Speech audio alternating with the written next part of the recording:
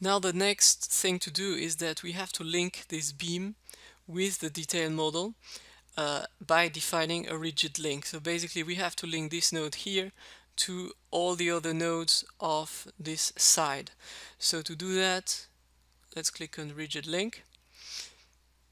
In the master node tab, you have to select the node uh, which will be at the center of the rigid link and then typical select rigid body so all the degree of freedom will be uh, selected. And now we have to do is select all the nodes which are uh, inside this plane. So to do that you have a selection by plane like that.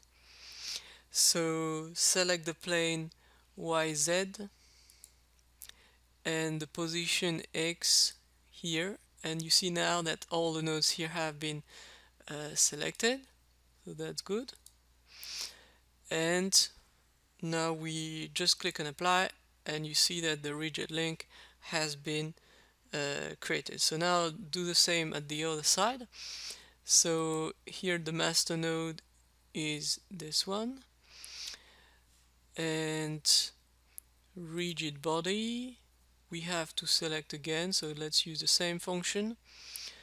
So yz select again this node. And click on apply. And our second rigid link has been created